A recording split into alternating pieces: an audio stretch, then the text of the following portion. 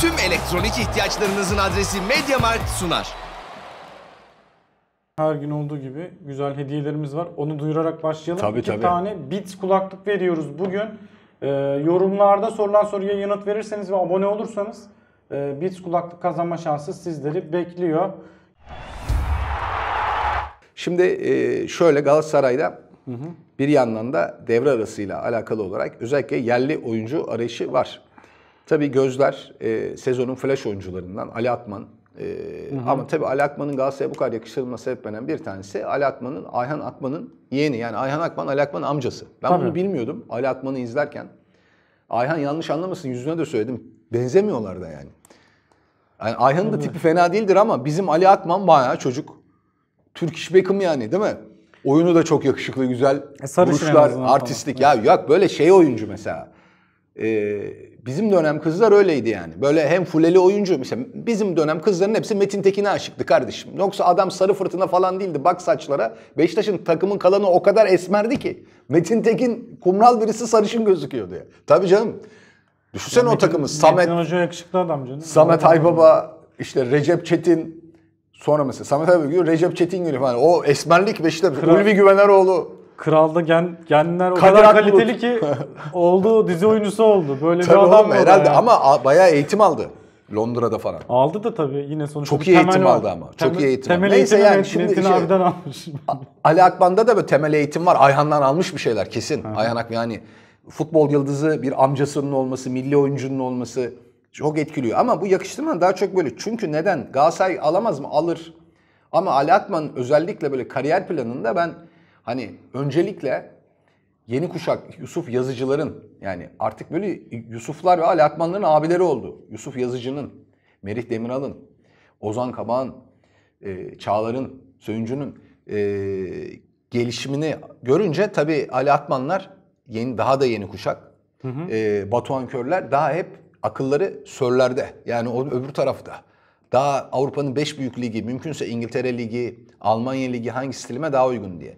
Ha bence Galatasaray alabilir, aynı zamanda Ali Akman gelebilir de. Ben gelemez demiyorum. Ya da bu iş olmayacak demiyorum ama başka alternatiflere neden bakıyor? Galatasaray bu yüzden bakıyor.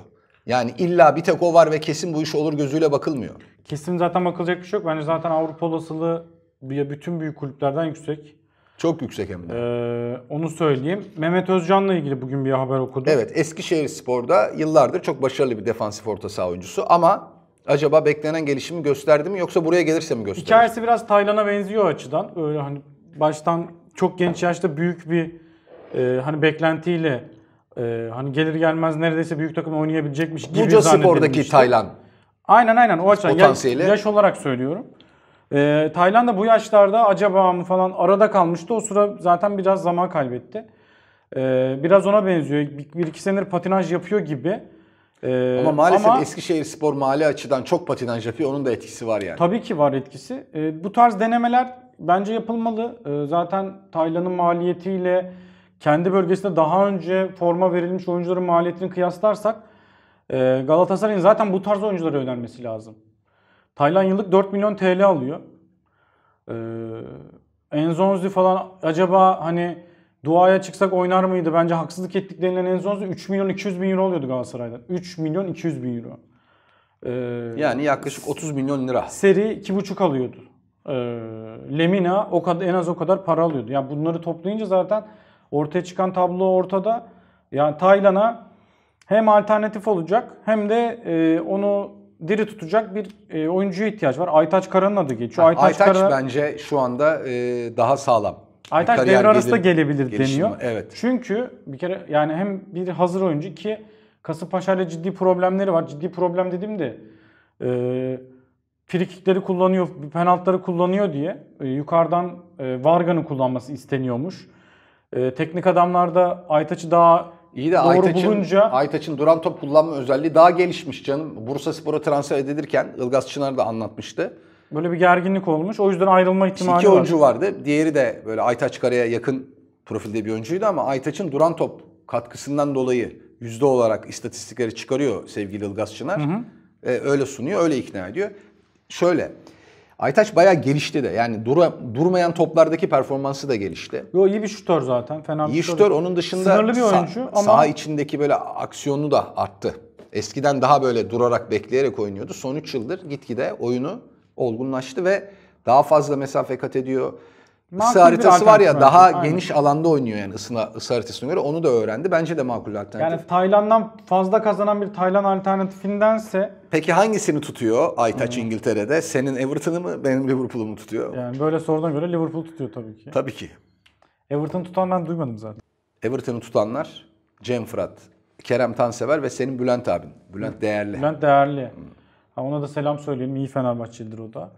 Ee, yani O tam bir böyle Fenerton yani anladın? Hayır evet doğru.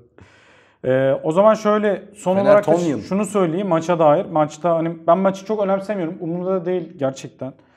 Ee, bu tarz maçları yarı hazırlık maçı olarak görmezse görmemek fazla anlam atfetmek bence yanlış. Benim sadece ve sadece bu maça dair gözüme takılan konulardan biri Ali Yavuz Kol'un e, aldığı süreyi hep ön tarafta alması. Yani forvet 9 numara olarak e, süre alması.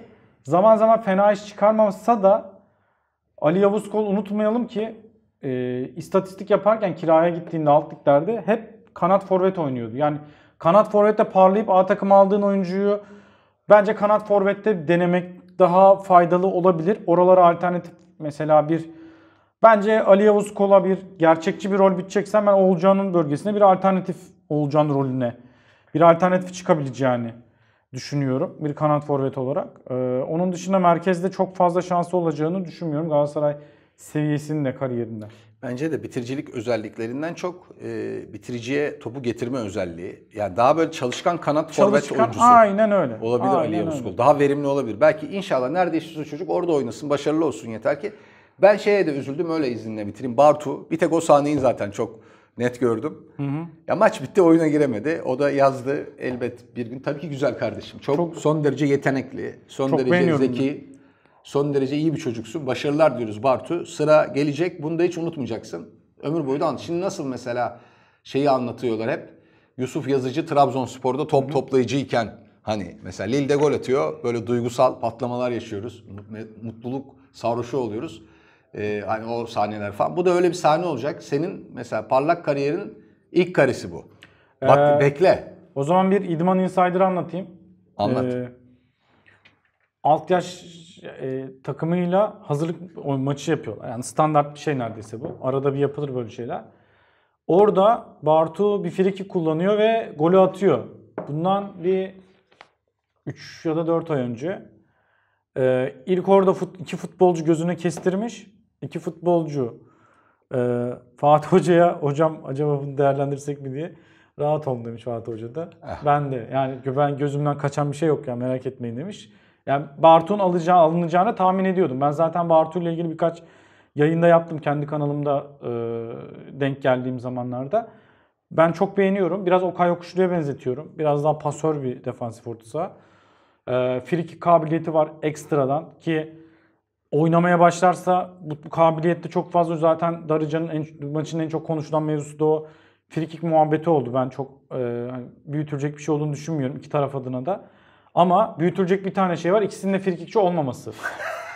Yani kavga ediliyor da friki kullanacak adam yok. Yani ikisi de kullanamıyor açıkçası. Onu da söylemek lazım. Tabii ya Wesley Snyder mı Drogba mı diye Ya yani abi frikikte tartışıyordun. Selçuk İnan mı diye tartışıyordun. Orada dördüncü adam Hamit Altıntop'tu. Hamit Altıntop'un önünde diz çöker tövbe isterler frikik konusunda bu oyuncular yani. Hamit karşısında böyle direkler yok. biliyorsun. Direkler olmasaydı zaten Hamit herhalde dünya çapında yani rekorları kırardı yani. O sene çok kaçırmıştı. Ya hep direkten dönüyor. Ama e, ya burada ben friki kabiliyet, duran top kabiliyetli bir oyuncuya her zaman artı puan yazarım özellikle bu tarz takımlarda. Bartu da eğer takıma da süre alacak noktaya gelirse bir, se- bir sene içinde belki önümüzdeki sezon böyle bir eksiği de giderebilir diye düşünüyorum. Son olarak bunu söyleyeyim. Aklıma Hamit Altıntop'un o direkt şanssızlığını aşması için kurban kesilme fikri ve daha sonrasında o kurbanları işte alan kişiler, o onları onları kaybetmeleri falan onlar geldi ama anlatmayacağım. Hepsi çok ünlü kişiler. Bir gün istiyorsa kendileri anlatsınlar. Çok efsane olayını sen biliyorsun. Tabii konuşuruz. arada. Bakalım tahmin edin alta yazın ne kim yapmış olabilir? Kim kaybetmiş olabilir? O zaman Bir dahaki bölümde görüşürüz. görüşürüz. Part bitti. Ama sevgili dostlarım, canım kardeşlerim, başka partlar devam ediyor. Lütfen onları da izlemeye devam edin. Bir abone olun. Bir de şurada hani böyle zil sesi, min sesi var. Oraya da böyle tıklayın hani yani bildirim gelsin. Like'lamayı da ihmal etmeyin. Öpüyorum. Tüm elektronik ihtiyaçlarınızın adresi MediaMarkt sundu.